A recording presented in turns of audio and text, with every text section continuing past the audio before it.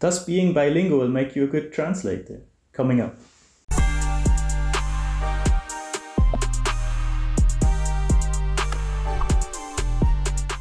Hello and welcome back to the Freelanceverse. Nice to have you back on the channel. Thanks so much for coming back. Before we get into it, make sure to subscribe. We're so close to 18,000 subscribers. I don't know, by the, the time this goes out, maybe we already reached it. Uh, thanks so much for the support. It's been growing so quickly, the channel, and I really appreciate every one of you being here.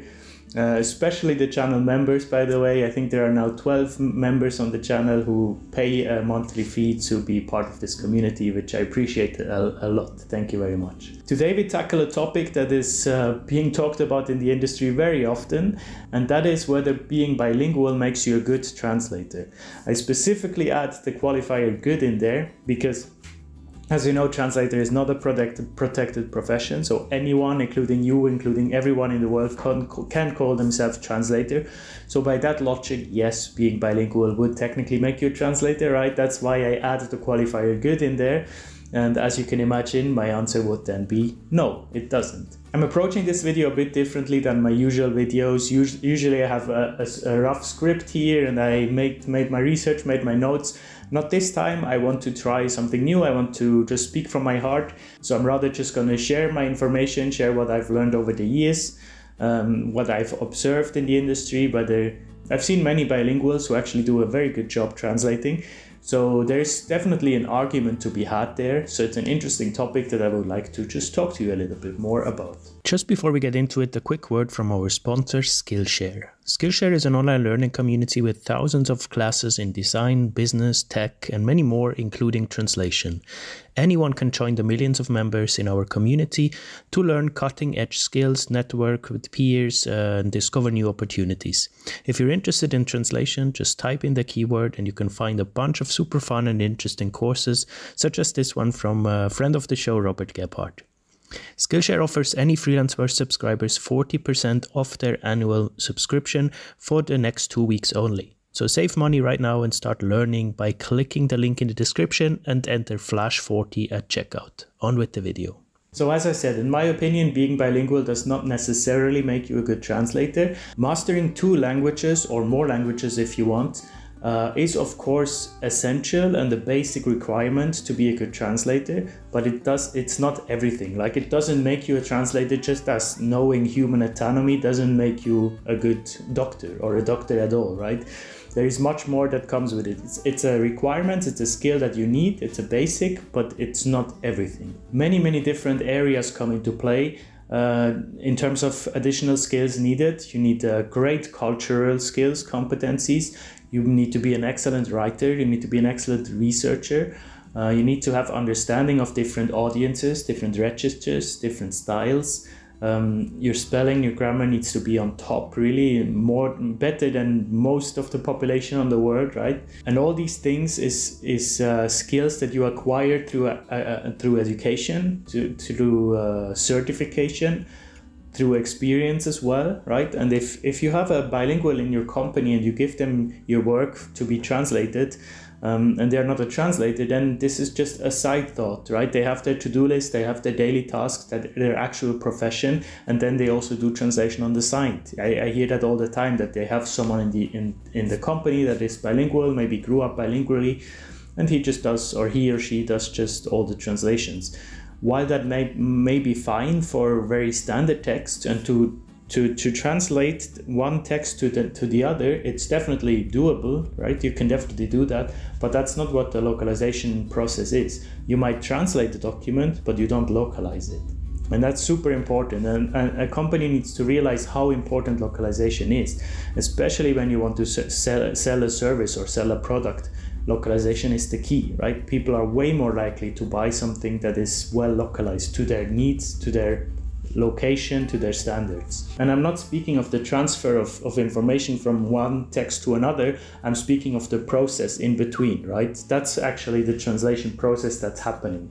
And exactly in there is where we can excel, right? We can be excellent writers, we can be excellent, we have an excellent command of the target audience, the target uh, language as well that we just trained over years and years. And if you have that much experience, then it's very likely that something um, comes up again, right? It's it happens all the time that in text something comes up that I've translated a hundred times, and I know now how to attack these problems.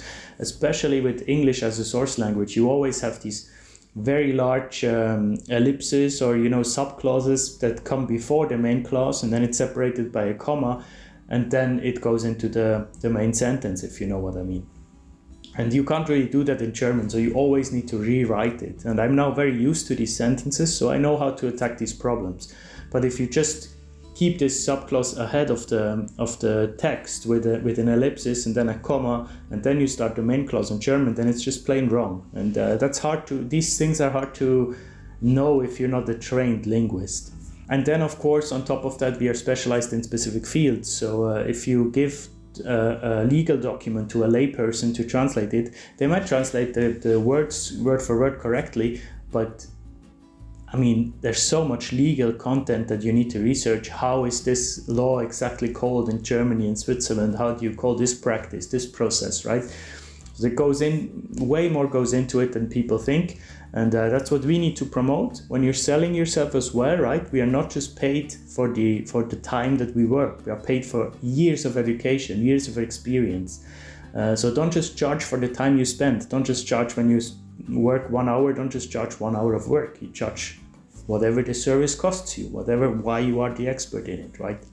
Of course, you need to be able to back it up. If you can't back it up, then you can't charge for it. Additionally, I think uh, trained translators are experts in, in specific tools, in CAT tools, which can increase productivity, which can increase consistency, uh, definitely uh, considerably. Um, you can work with style guides. You are aware of of uh, what people want to sell, where they want to sell something. So if you're doing marketing for for let's say for French for Canada and French for France, you know what the differences are. You know how to sell to people in these areas if you are specialized in this locale.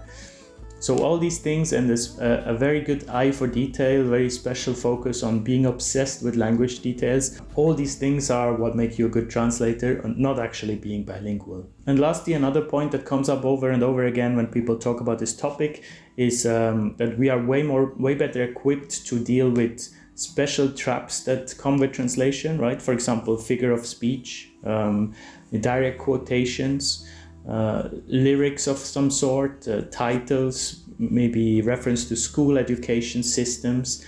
All these things are common traps in translation that you have to attack in a way uh, yeah, you need to either know it or you need to talk to the client how they want to attack it, right?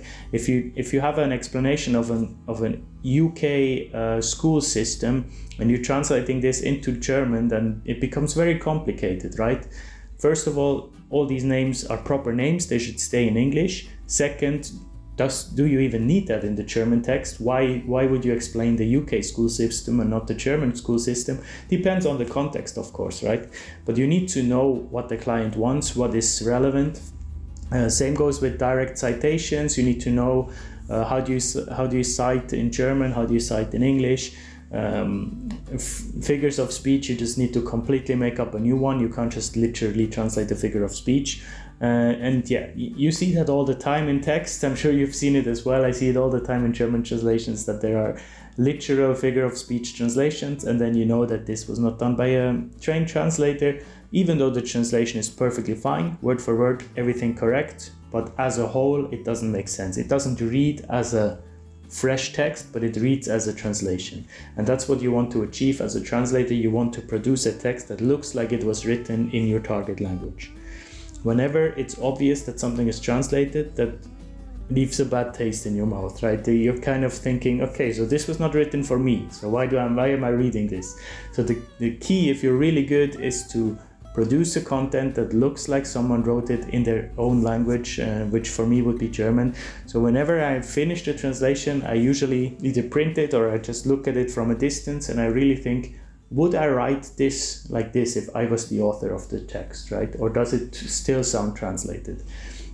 If it has too many like weird uh, sentence structures, you can very much tell, especially from English and French, there are a lot of sentence structures that you need to just standardize in German because no one would write like this, right? German is not such a, a flowy and singy language like the French are, for example. There you would have sentences that go on and on, very descriptive. Um, this you need to know. You need to train it for years and years and years, uh, over and over again, and that you can't just do by simply being bilingual. Not putting down any bilinguals out there. If you are bilingual, natively bilingual, you have the perfect uh, prerequisites to become a translator. Just know that it's not enough. You can't just go out there and say, "Hey, I, I'm, I already know everything there is about language transfer and, and localization." You don't. Just you have very good chances to get there. So if you want to, just follow through, get your education, get your experience in, and then good luck. Thanks for watching. I see you next Monday with the next one. Bye bye.